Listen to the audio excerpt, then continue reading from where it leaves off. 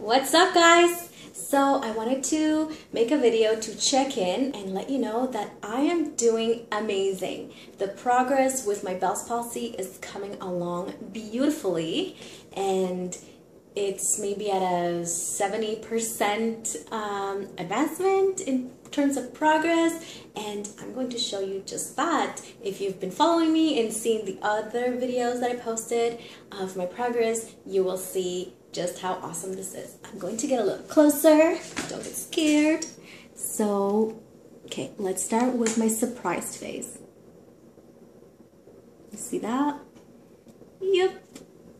Almost all back. Like I got the wrinkles going on here, but this one is coming back. So it's pretty awesome. My nose flare seemed to be the slowest in progressing and coming back.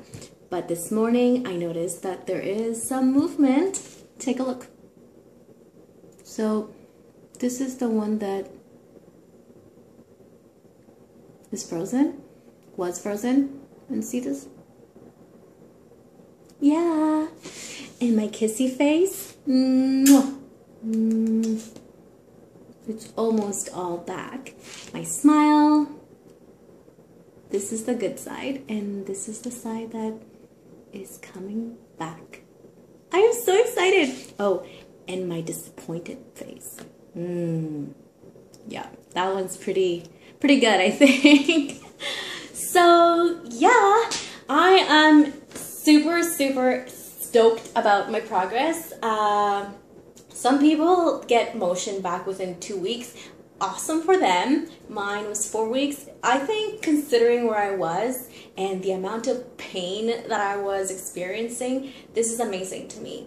Um, I will soon be posting a video of everything that I did step by step and when I did it, what it helped for, so that I can inspire others and help others that are going through this because I realize not many people know about all the natural ways that you can go um, instead of having to put all this stuff in your body or enduring pain um, that you really don't need to. So stay tuned for that. And I really wanted to thank everybody that has been there for me, checked in on me, um, pushed me through this.